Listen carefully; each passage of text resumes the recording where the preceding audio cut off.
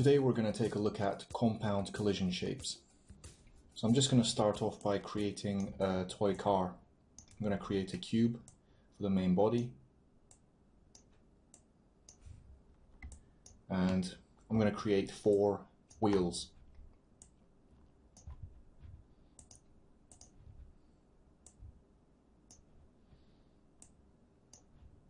I'm just going to go to the top view and I'm just going to reduce the radius of this tire and the height. Put it over here.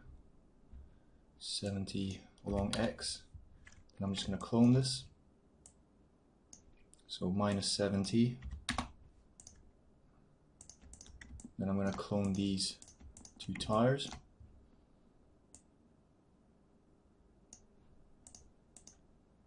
So I'll make Z90 for these two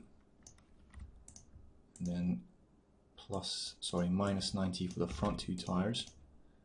So we have a perfectly symmetrical toy car. It's very simple, but for the purposes of this tutorial, it'll work. So next I'm going to create a floor object.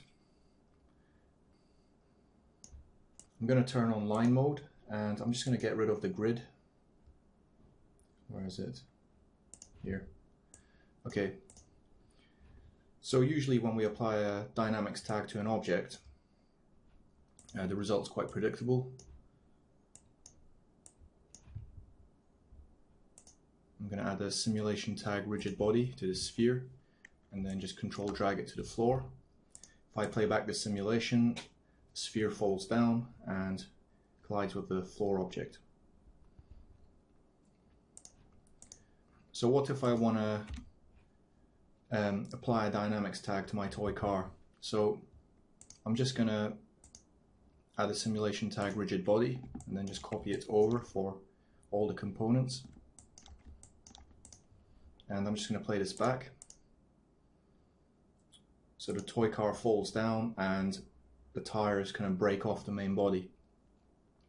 So what I want is I want this to kind of act as one kind of solid object, even though the toy car is made up of five different uh, objects. I want it to act as one solid object. So I'm just going to select all these objects and hit Alt G to group them in a null. And I'm just going to move my rigid body tag to the null and delete the rest of these rigid body tags. And I'm just going to play back the simulation. And for some strange reason, the toy car falls right through the floor that's basically because the null object has a rigid body tag, and because a null object is basically empty, it's just going straight through the floor. And then because all these children objects are attached to null, they're just kind of blindly following it. So if we want this to act as one solid object, there's an option. I'm just going to click on the simulation tag, go to collision, and then where it says inherit tag, I'm going to choose compound collision shape. So now when we play this back, finally the toy car acts as a solid object. I'm just going to move this up and rotate it slightly, play back, and that's much better. Just going to reduce my frames.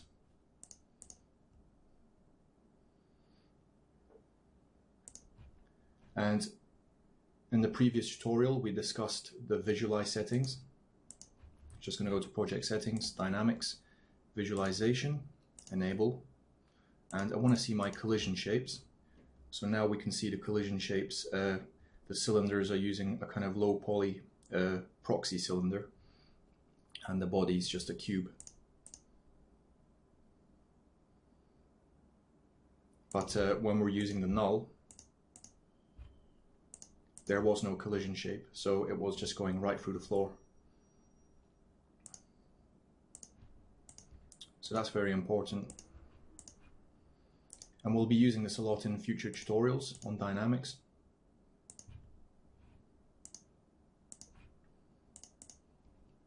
One last thing, uh, you don't have to use a null object, so I could have the body of the car, i.e. the cube, driving everything. So I could just grab these tires, the cylinders, put them under the cube, take the cube out the null, and then just put the uh, dynamics tag from the null onto the cube.